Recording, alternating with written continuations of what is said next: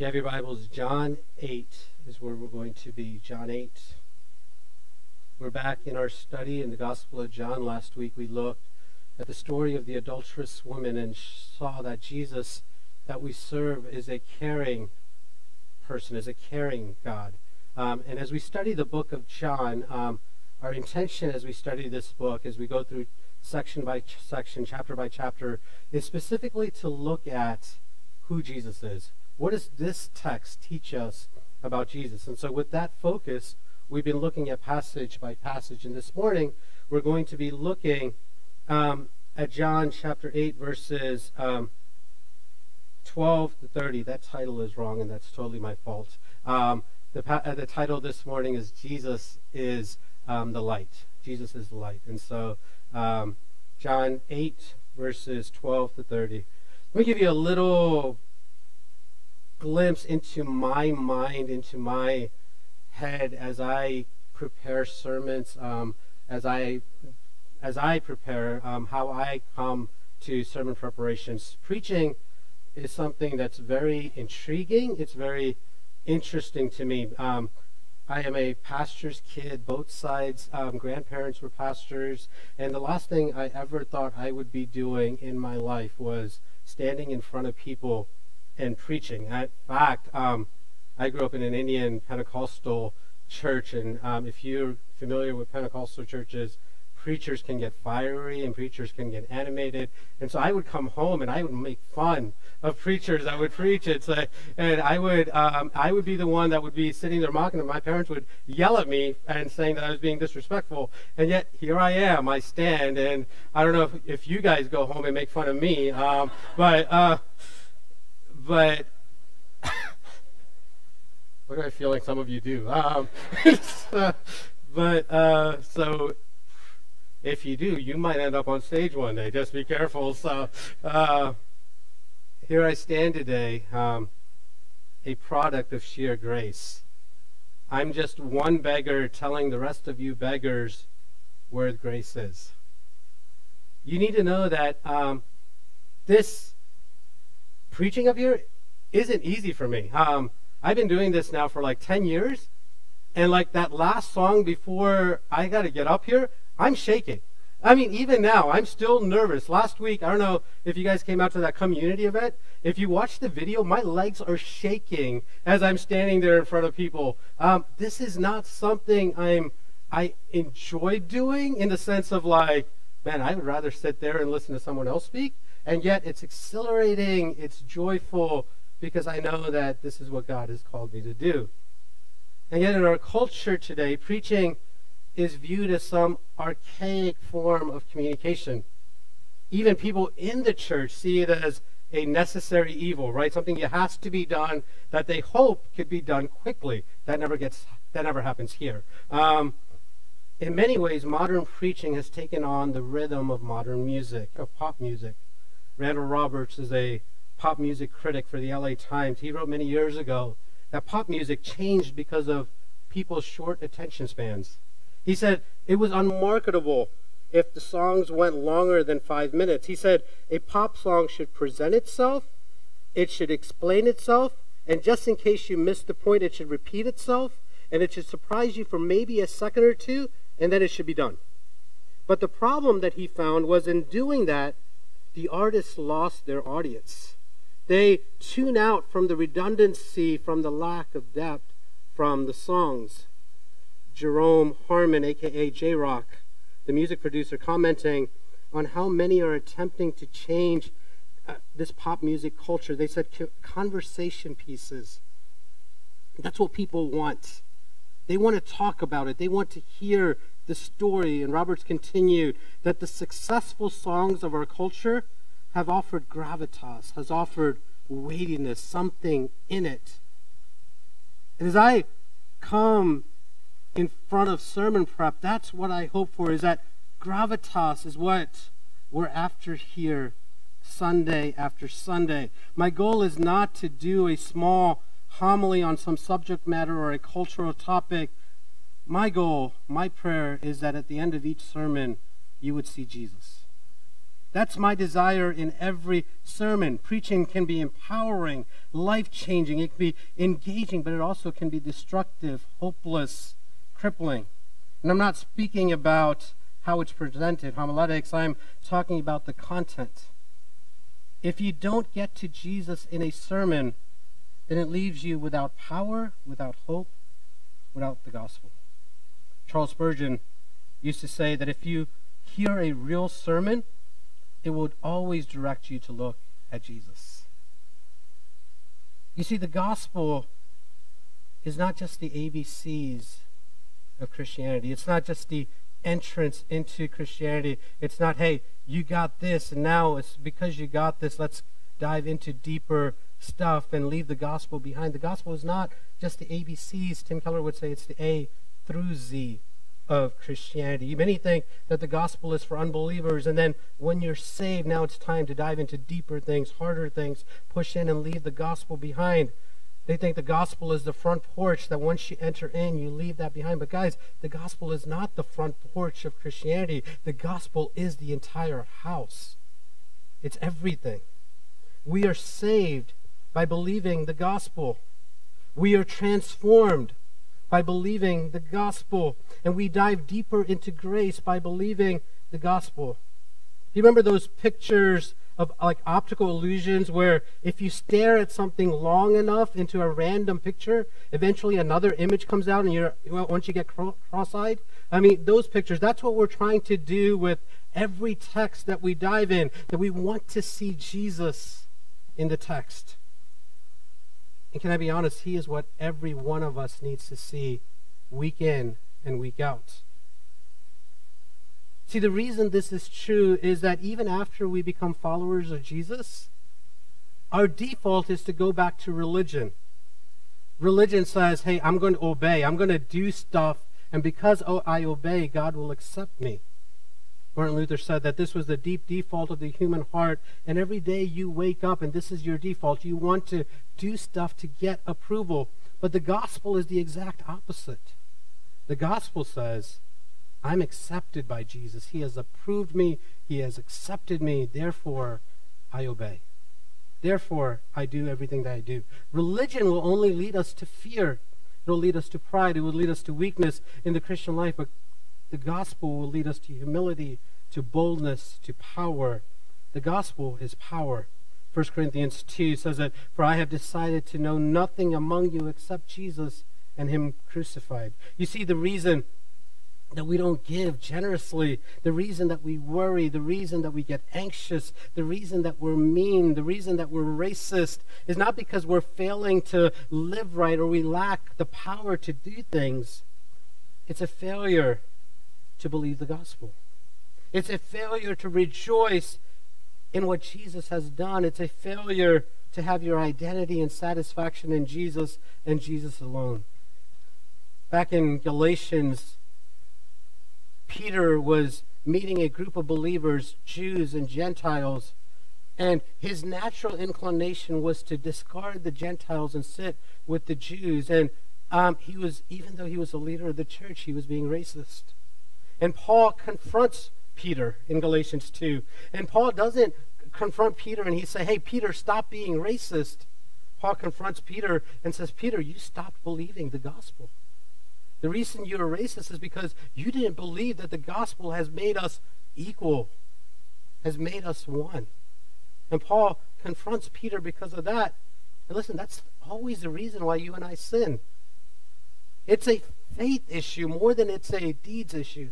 You fall into sin because you don't believe that God is good, God is satisfying, God is your provider. This is why Paul said to fight the good fight of faith in 1 Timothy. You see, the problems with fear, with shame, with guilt, which drive our emotions, is a problem with believing some lie about God and what He has done for you in Jesus. It is always a failure to believe the gospel. And thus, the solution isn't stop gossiping, isn't stop lying, it isn't stop being greedy, it isn't stop being racist, but it's repent of believing that human approval is more valuable than God's approval. It's repent of not believing the gospel. Repent of believing that money and affluence is going to deliver you from guilt, from shame, from fear. Repent from that and turn to Jesus and believe what Jesus says about you. And thus, in whatever passage of Scripture we're in, we have to get to Jesus. And in doing so, we grow in our faith. We grow in sanctification. We find the solution for our fight against sin is the gospel and if you're not a follower of Jesus, you get to hear the gospel every week from different perspectives, from different chapters, and get to see how it works and plays out in the life of a follower of Jesus. And this way, you walk out of here every Sunday with hope that you can face guilt and shame and fear because you see that Jesus is marvelous, he's worthy, and because he is marvelous and you are in awe of him, you leave and you live a life of pursuing Jesus.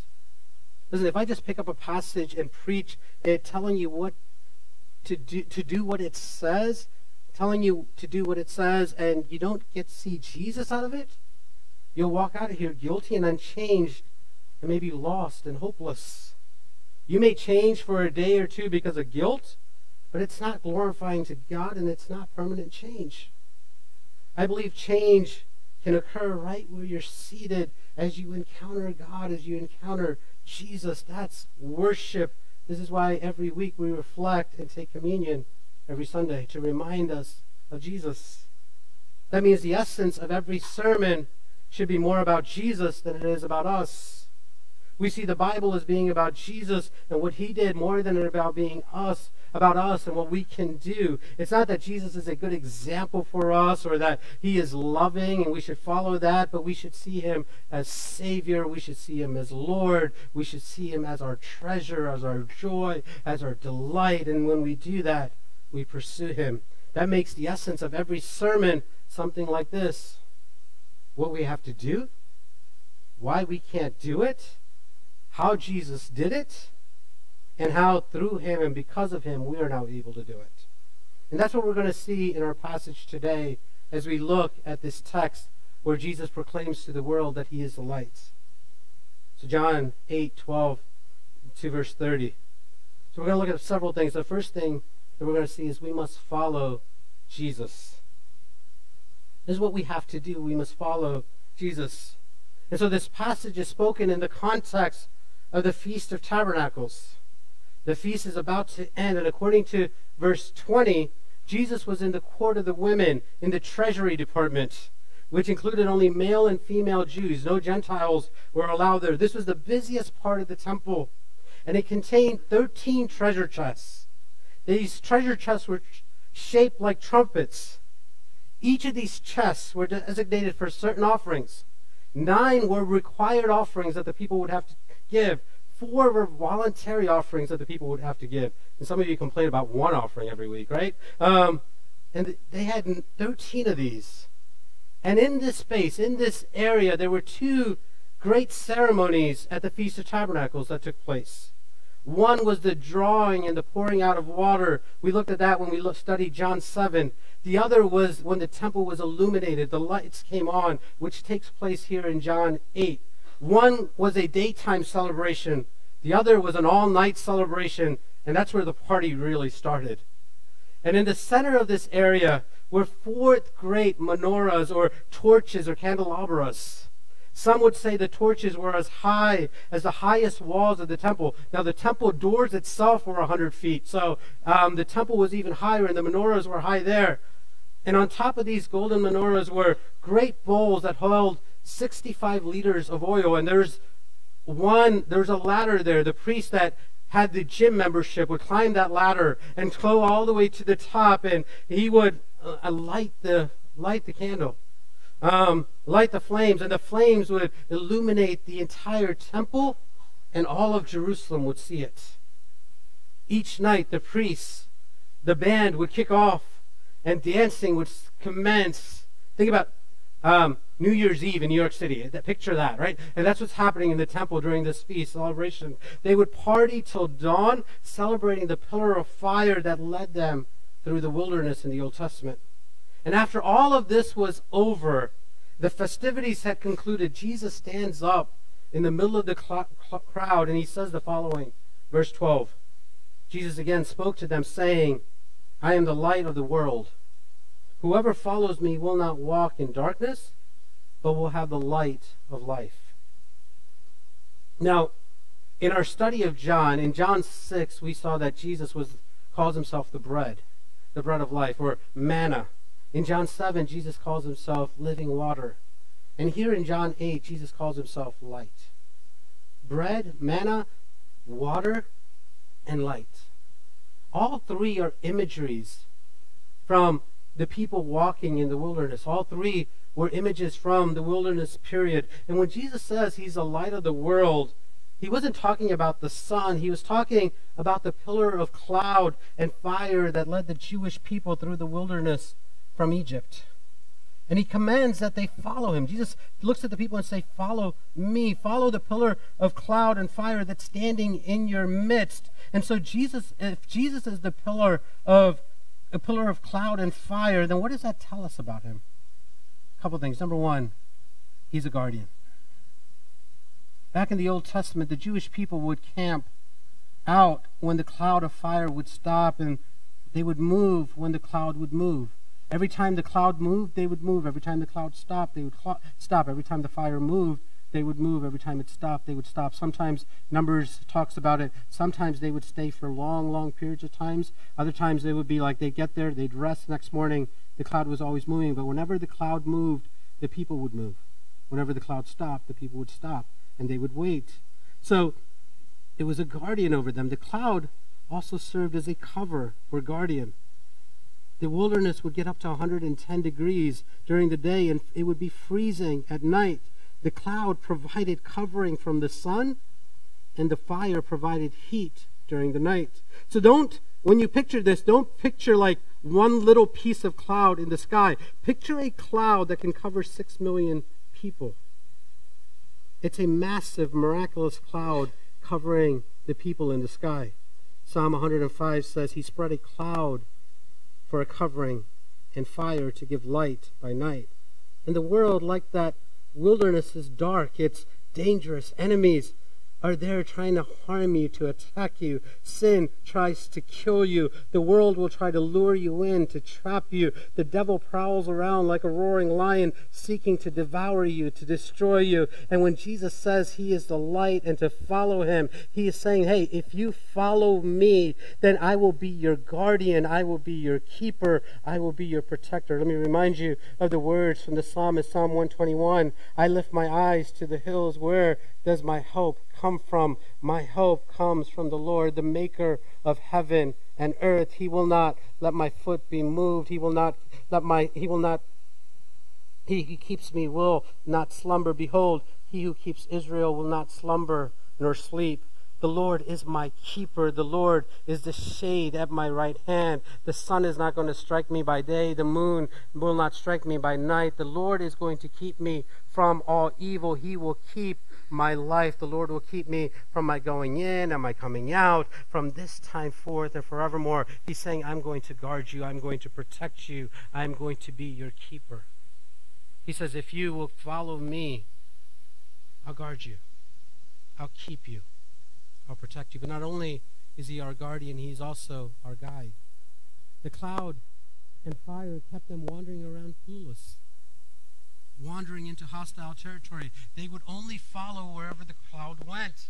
As long as they followed the light, as long as they followed the crowd, the, the cloud, as long as they didn't rep, rebel against God, they would reach the promised land of Canaan. And when Jesus says that he is the light and to follow him, he's saying, if you would follow me, listen, I will guide you. I'll lead you.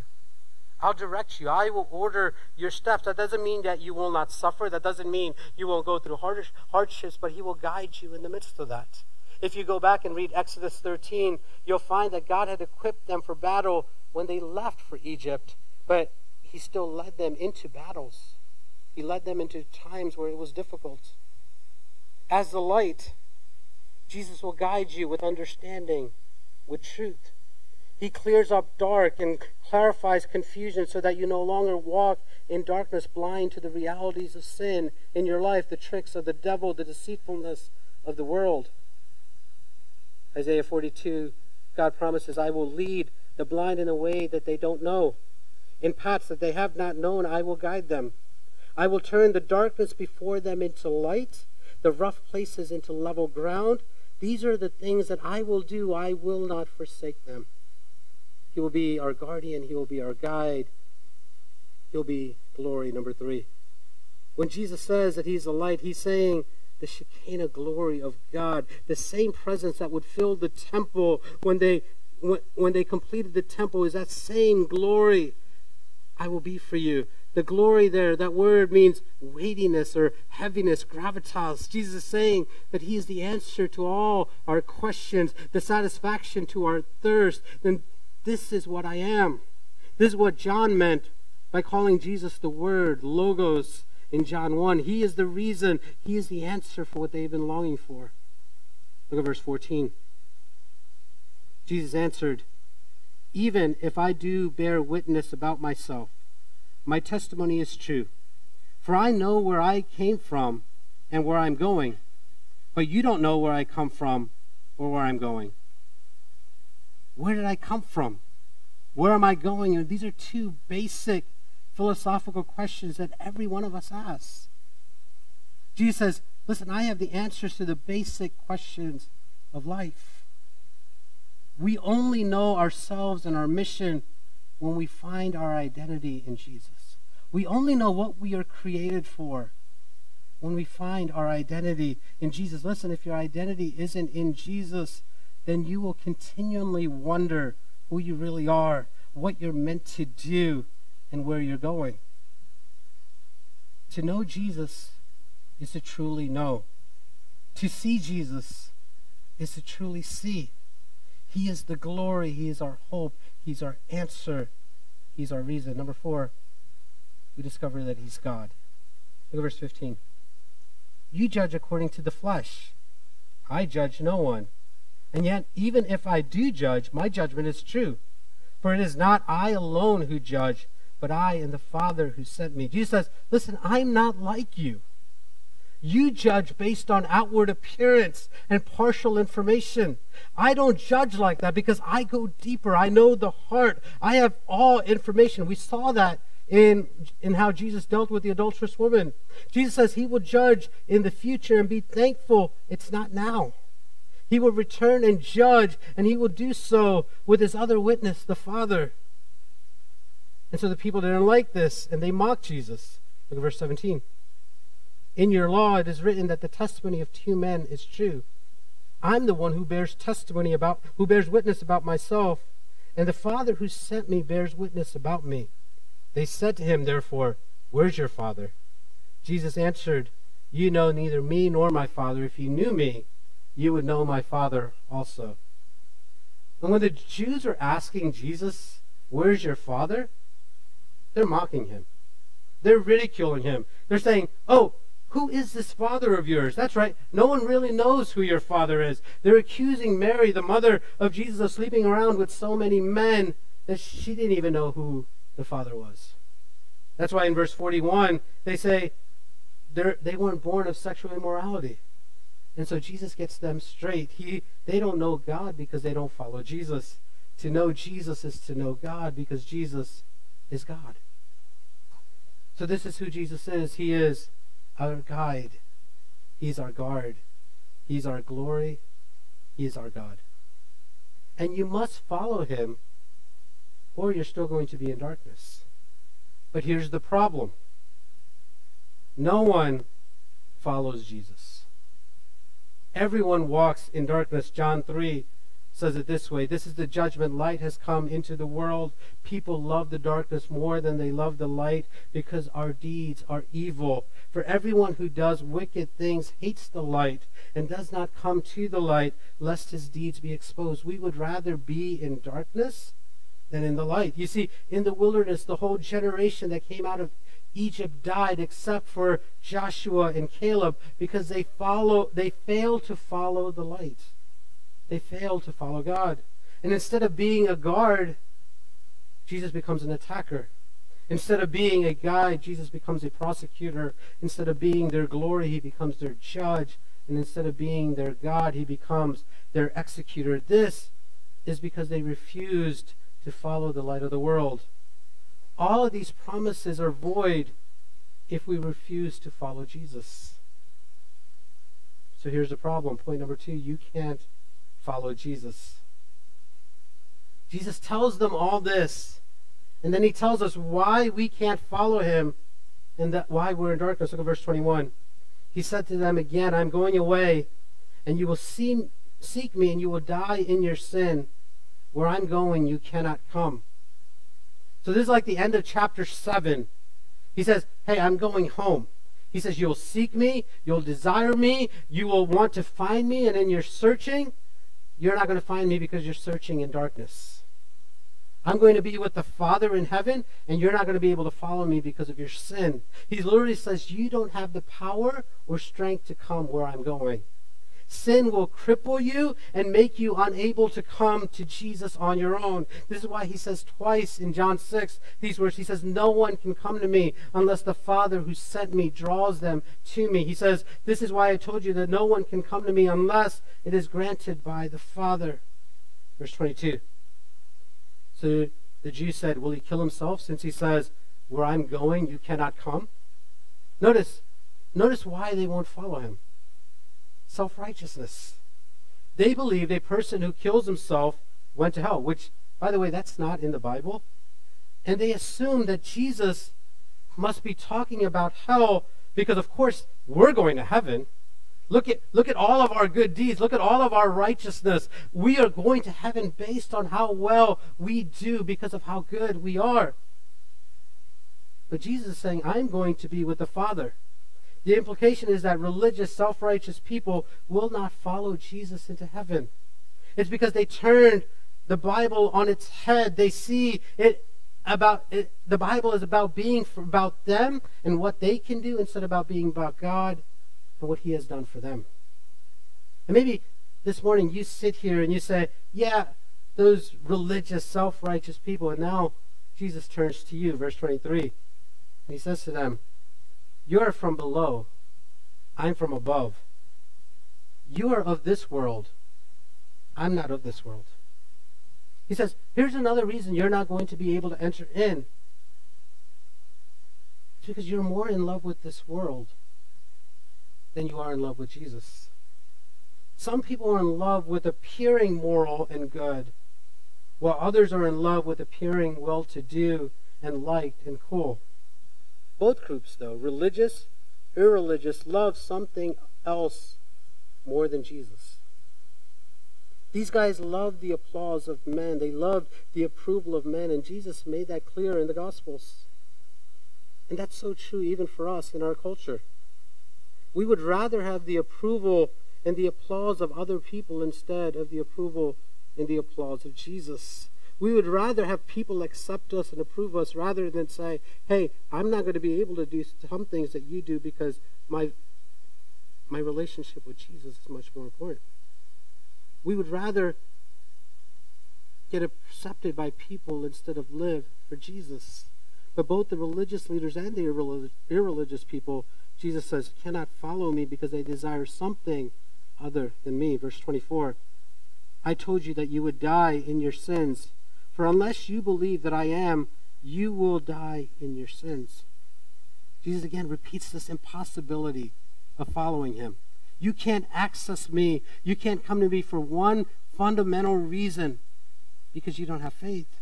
You have no desire to want me above every other thing. Notice that sin now in this verse has been changed to the word sins.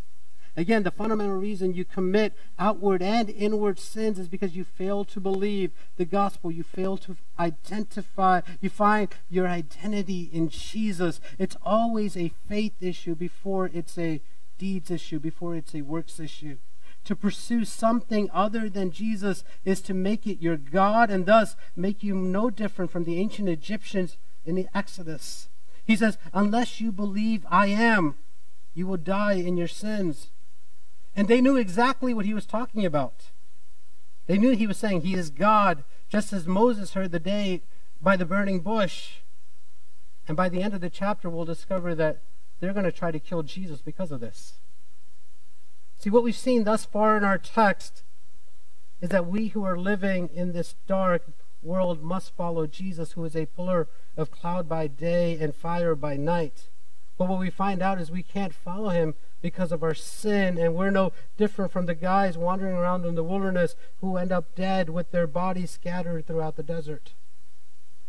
Our situation is bleak, and left in this condition as an unbeliever, you will die in your sin and you will end up in hell. And I'm not here to water that down to you today. My job as a pastor is to love you enough to tell you the truth. And as a believer, if you don't see your need for grace, your need for the gospel, your need for Jesus daily in your life, what will happen is you will live in fear, you will live in shame, you will live in powerless, uh, powerless in your fight against sin. And you and I, we need the gospel this morning. We need to be reminded that we need Jesus. Third point there is a way to follow Jesus. Just like God used Moses to split the Red Sea, so Jesus now parts the darkness to make a way to follow him. Jesus sees their predicament, and he sees our predicament.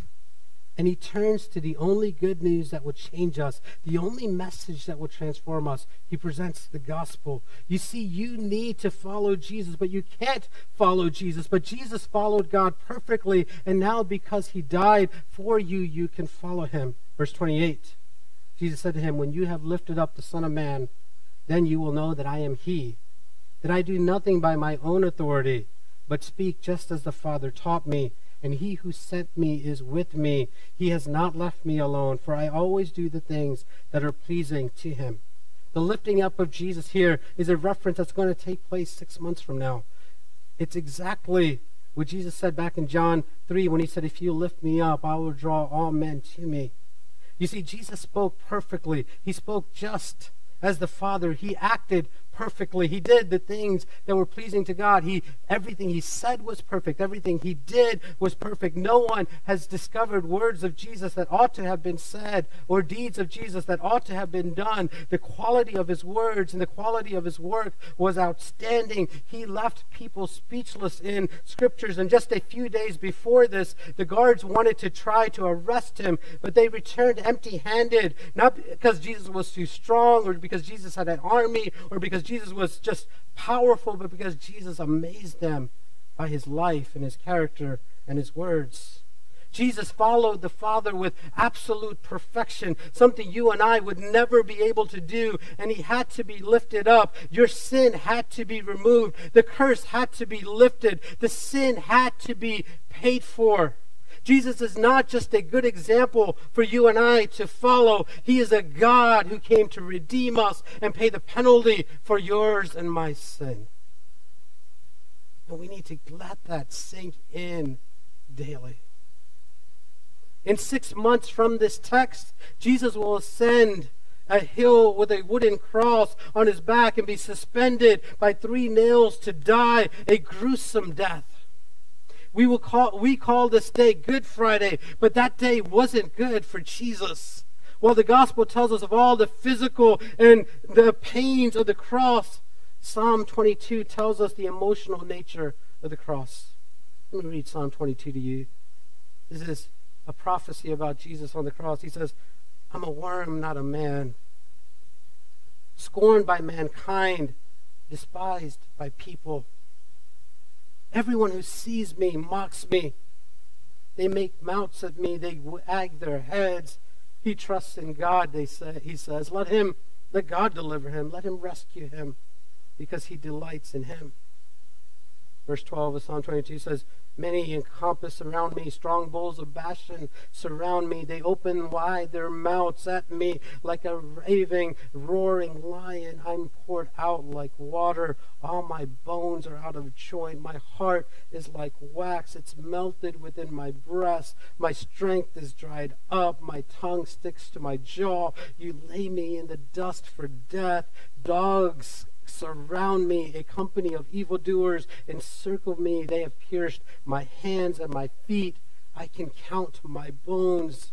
They stare, they gloat over me, they divide my garments among them, for I am For my clothing they cast lots. Listen, as a result of the death of Jesus, you and I can now live. As a result of being made sin, you and I are now free and clean. As a result of Jesus following the Father perfectly, even to death, you and I can now follow Jesus even though we stumble and even though we fall. You are still, when the Father looks at you, he sees the righteousness of Jesus and he sees you as perfect. Look at verse 29. Here we see how we can follow Jesus. He who sent me is with me. He has not left me alone, for I always do the things that are pleasing to him. And as he was saying these things, many believed him. People became followers of Jesus.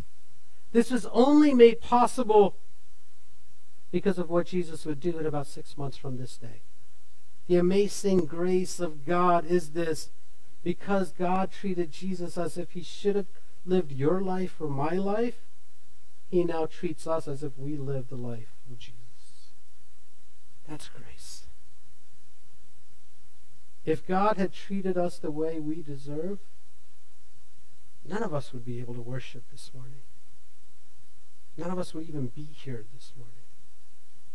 The reason we're here, the reason we can worship, the reason we can sing is because when God looks at you and me, he treats us the way Jesus should have been treated. But because Jesus was treated the way you and I should have been treated, now we are treated the way Jesus should be treated. Let that sink in.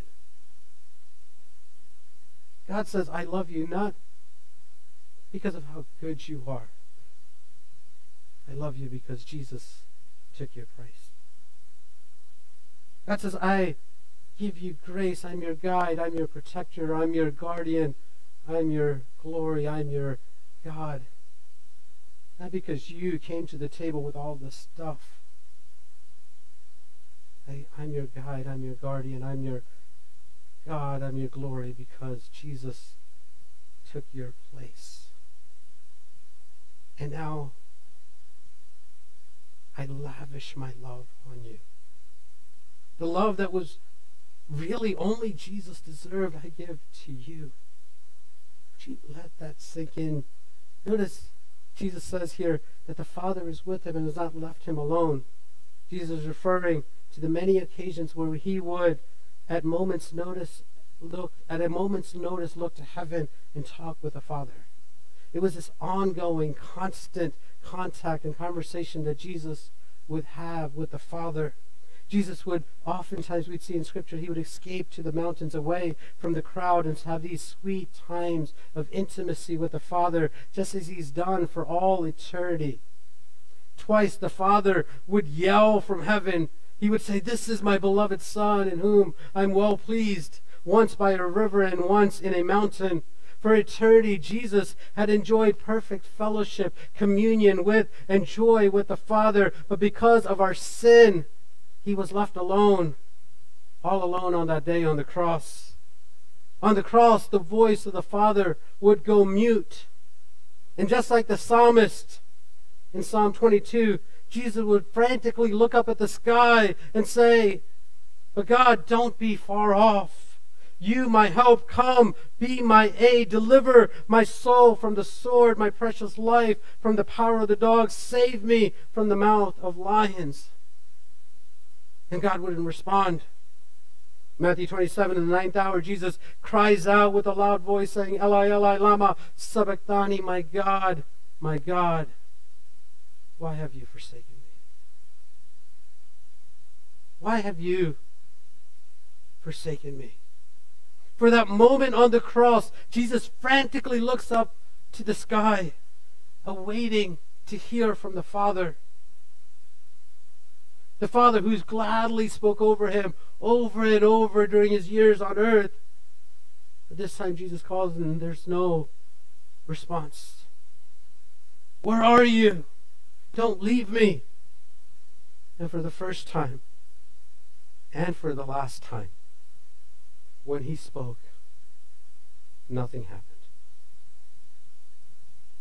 Just a horrible, endless silence.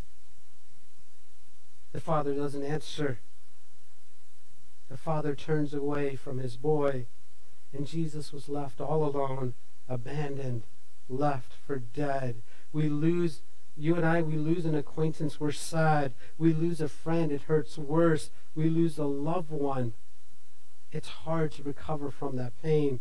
But Jesus' relationship with the Father was timeless. It was beginningless. He was intimate with the Father from eternity to eternity. And for this moment, Jesus looks up and the Father isn't responding. You see, while the Father had not left Jesus alone six months later, he would. And wouldn't it be because somehow Jesus has stopped doing the things that please the Father? Instead, it would be because you failed to do, you and I failed to do what was pleasing to the Father. See, we're the reason this took place. We are the cause that Jesus was abandoned. Why did the Father turn his back? Because Jesus became sin for us, and God judged Jesus like he would judge us forever, which is separation from him forever in hell. Tears roll down the face of Jesus as he hangs on the cross, the face that of the one who would one day wipe every tear from every eye who believes in him. Now tears are rolling down his eyes. This was the only way that God could destroy sin without destroying you and I. It's the only way that God's glory, which is our greatest joy, which is our greatest good, which is our greatest delight, what we are made to enjoy forever, could be made available to us.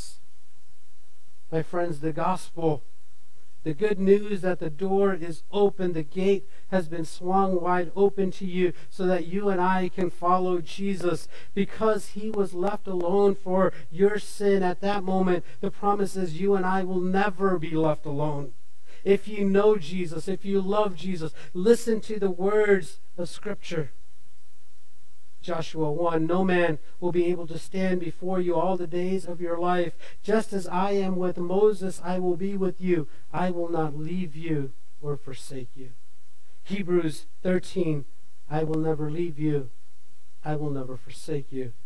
Matthew 28 I am with you till the end of this age. His promise is that because I abandon Jesus, the promise is he will never, ever, ever leave us. No matter where you are in your life, no matter how hard you're struggling, God will never leave you. No matter how difficult your situation is right now, He's not abandoning you. No matter how hard life may be, He's right there with you. Listen, Jesus faced the ultimate separation and bore your hell and my hell. And the greatest enemies have been defeated. Death has no more sting. Satan is a defeated foe, and sin's damning effect has been disarmed. Goliath is dead. David has the greater David has defeated him. Let that security give you strength to fight the enemies that you are facing. Let that joy empower you to resist temptation this week and keep following close close to Jesus because he has won the battle for you. He has. As we go to communion this morning, meditate on that truth. If you're struggling with sin this week, meditate on that. Jesus is victorious. Jesus is glorious. And the reason you're struggling is because you are not in awe and wonder and worship of Jesus. And you need to get back there. You need to get back to where you see Jesus as your true joy, true treasure. You need to let this sink in. The reason you're struggling in your devotions, the reason you're struggling in your faith is because you haven't really caught the gospel. Some of you hear this week in, week out, you and you've almost become numb to this. And my prayer for you is that you never become numb to the gospel that we never graduate from being in awe and wonder of the fact that we shouldn't be here, but because Jesus took our place, we are forgiven. We are cleansed. We are part of the family of God. God doesn't look at us and call us enemies or outcasts or strangers or aliens, but He looks at us this morning and He says, Son. He looks at us this morning and He says, Daughter. He says, Beloved. He says, Friend. May we never graduate from that. As we come to the table this morning, I invite you to reflect on that truth Reflect on what Jesus went through to give you this incredible standing with God, this incredible door that has been opened for you so that you can follow Jesus. And I invite you to repent of your pace. Repent of how slow you are in following Jesus. Repent of how sin and apathy and laziness has slowed you down and resolve this morning that you would pick up the pace, that you would take up the cross, that you would follow close behind Jesus, that you would pursue Jesus, that you would be in love with Jesus, and you would, in that pursuing and in that um, loving, that you will be empowered to live for Jesus. See, this is where power comes from to follow Jesus. This is the gospel. And whether you've been a follower of Jesus for 40 years, or you've been a follower of Jesus for 30 minutes, we never graduate from this. We need this week in and week out. As we come to the table this morning, would you examine your heart, your attitudes, your actions, your motives? Examine where you are in following Jesus. Has the joy, the awe, the wonder of the cross is it still there for you? If not, this morning, would you repent? Would you run to Him? Would you pursue Him?